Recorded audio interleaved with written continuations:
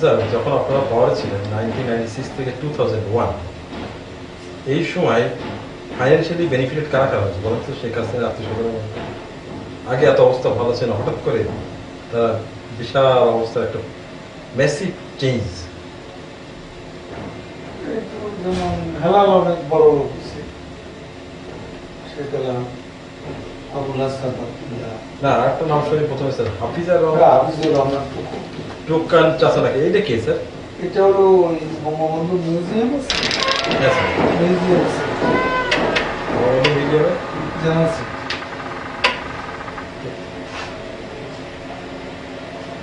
এই আহ, বঙ্গবন্ধু মিডিয়ামে ধানমন্ডিতে? জি। ওই যে বঙ্গবন্ধুর বাড়ি হ্যাঁ বত্রিশ থেকে এখন সরকার। মারা গেল। হ্যাঁ হ্যাঁ। হ্যাঁ আমি দেখেছি স্যার সুন্দর করেছি স্যার একবার দেখে সামনে স্যার। তার এক পাশে ওই মিউজিয়ামের সামনে যে রবীন্দ্র সরণ রবীন্দ্র সরোবর। জিয়া ওই পাশে দেখি। তাই না স্যার? একটু এগিয়ে। না আমি স্যার এটা একটা আমরা জানতে চাচ্ছি যে স্যার যে এই হাফিজুর রহমান যে টোকন চাচা এটা কি শেখ হাসিনা কেমন চাচা? তাদের বাড়িতে তো বাড়ি একই আসলে কি তার নাম শেখ নেই? শেখ শেখ হাফিজ হাফিজ বাড়ি সবই শেখ। না হাফিজুর হাফিজুর ইনি কীভাবে ফাইন্যান্সিয়াল বেনিফিট হবে উনি শিপিং লাইনে খুব আগে মানে শিপিং লাইনে এত সুযোগ পেলেন কি হবে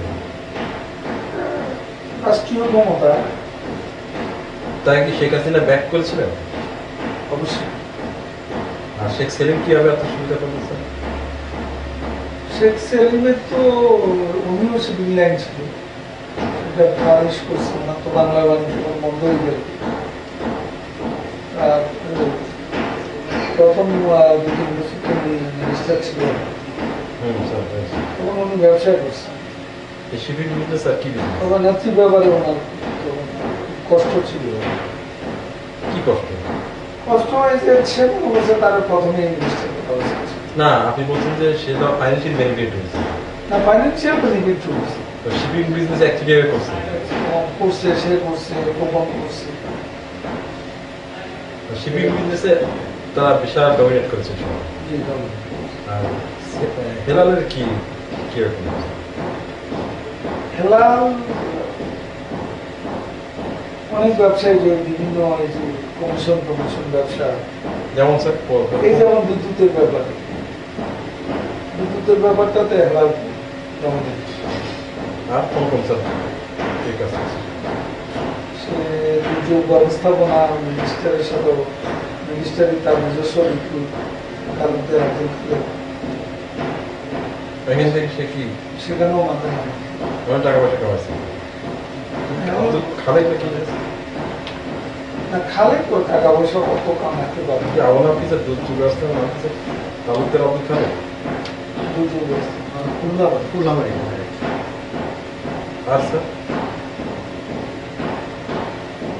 এরা নিচের দিকে এগুলো যে নাসিম তোমরা রেখে এসেছে? ওটা আত্মীয়। না পিএস না পিএস এই বাদিন আছে শেখ হাসিনা কেমন আত্মীয়? ওনার বোধ বঙ্গবন্ধু ভাই ছেলে বাড়ি কোথায়? ওদের বাড়ি মাদারি কীভাবে স্যার?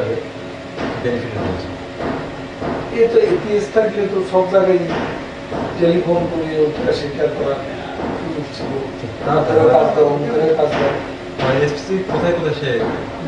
মানে টেলিফোন ইউজ সুযোগ ছিল না। তার তো থাকবে স্যার মানে কাজে সে ওটা ব্যবহার করতো। ওরে চাঁদাবাজি কোথায় না করতো সেটা বল।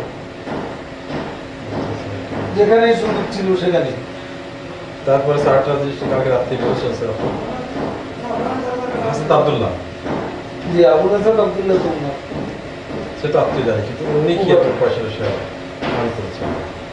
উনি তো তখন চিপুর ছিলেন। চিপুর থাকার সুবাদে একটা ইনফ্লুয়েন্স ছিল। বিশেষ করে বরিশালে ওনার ওনার শালার মাধ্যমে তোমার শালাটা কি? কমিশন। ওনার শালাটা কে স্যার?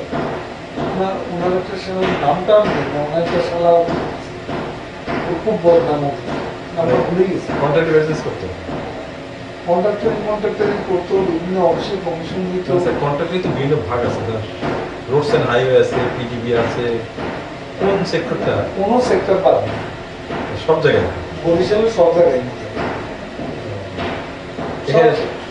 একটা বিশাল পরিমাণ টাকা সে আগে শেখ হাসিনার বোন যেটা? না না ওই হাসান সাহেব।